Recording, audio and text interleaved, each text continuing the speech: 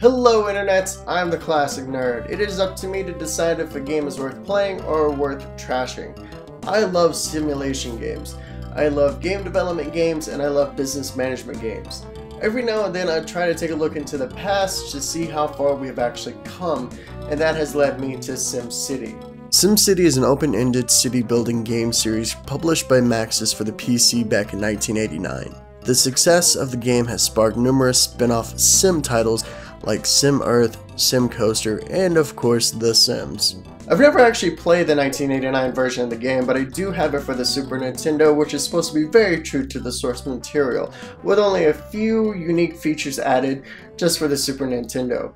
Today, I'm going to be playing SimCity for the SNES. Like the last game I reviewed, this game has no real story. Well, I hope that doesn't become a trend.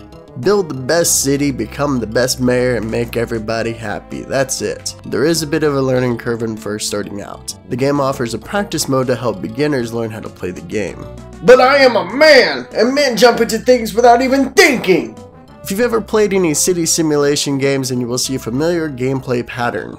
The game is all about building a thriving city. You have to balance residents, commerce, and industry. This is very tricky and can easily leave anyone forgetting to focus on their budget instead of their citizens. When you start the game, you choose one of three difficulties, but the only real difference between the three is how much money you start out with.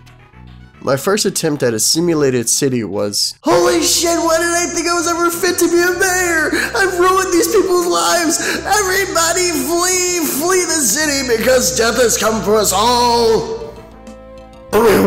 Where was I? Oh yeah, I was talking about the difficulty. It doesn't matter if you choose easy mode or hard mode, the game is hard. Not the hardest simulator I've ever played, but it's still hard. The difficulty boils down to how well you can balance and juggle and plan ahead. The more residents you have, the more jobs they will need, so you need industry locations. You'll also need commerce plots to keep your residents happy and your industry busy. I can't express how easy it is to lose track of all your money because you couldn't balance everything properly. It is annoying. The best advice I can give to anybody is to start small. One resident plot, one industry plot. When you start getting residents moving into your village, consider expanding. Luckily, there is a bar graph to help the player see what is needed. The visuals in this game are nice. I love seeing the seasons change. It adds a little bit of awesomeness to the game. The rest of the visuals are equally nice, easy to look at, and you can tell what everything is. No dildo checkpoints in this game. It can't be unseen. The music in this game is very soothing and hypnotizing. I could listen to it for hours and be relaxed. It helps make the time go by easier. Also, if you choose to end your game, you are treated to an epic melody. The sound effects fit the city building theme. As your village progresses through its life, you unlock more plots and are given choices of what you want to build. Like, should I build a casino or a theme park? Well, the casino brings in money into your city, but the theme park does bring in residents. So I'm going to choose a casino because money makes this world go round.